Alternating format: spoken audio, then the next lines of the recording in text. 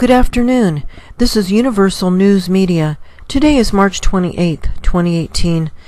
Today we will be viewing images from unedited photos obtained March 26 and 27 from the Federal Aviation Weather Cams in Alaska.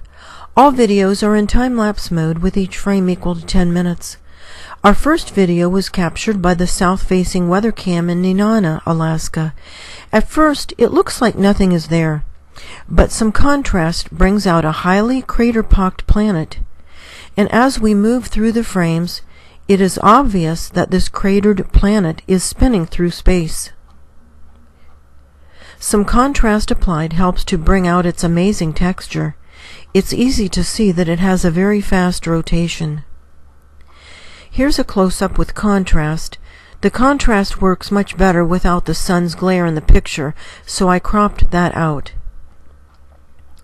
The southeast-facing weather cam in Red Dog, Alaska, captured what is a very frequently viewed sight.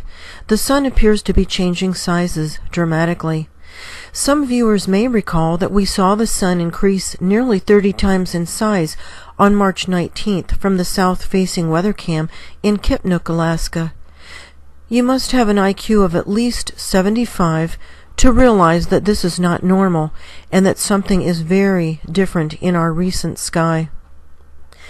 In Wainwright, Alaska, nothing out of the ordinary appears to be happening on this south-facing camera, but some contrast applied shows an orb in the center of the screen. As we move the frames along, we see that there is another orb, very large, with some striking texture. It appears to have an enormous crevice near the top.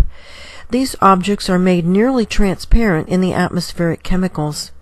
Alaska and, Chem and Canada do have chemtrailing, but the chemtrailing is less than what it is in the lower 48 states.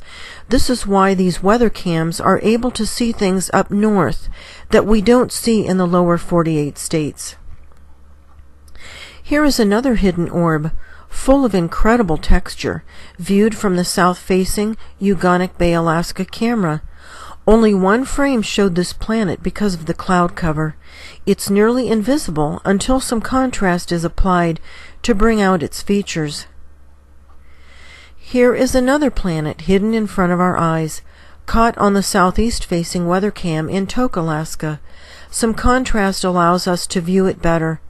The pink spot on the orb is the jet that causes all of the oddly shaped and colorful reflections we frequently see near the bottom of these FAA images.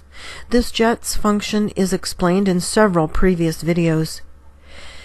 Here are these two spinning planets we often see on the northwest facing weather cam in Tok, Alaska. The chemtrailing must not be quite as heavy in this area for this type of visibility of these planets and I'm not even going to try to guess what showed up on this south-facing camera in Nondalton, Alaska. It was only there for one frame due to the heavy fog, so I'm guessing it could even be a camera issue or a strange reflection of some equipment. If anyone has a suggestion of what this could be, please leave it in the comments for us. These are very interesting shapes that were visible on the camera for only the one frame. The celestial objects we have just viewed are part of an approaching celestial system. Many people ask when this system will make its closest pass to our Earth.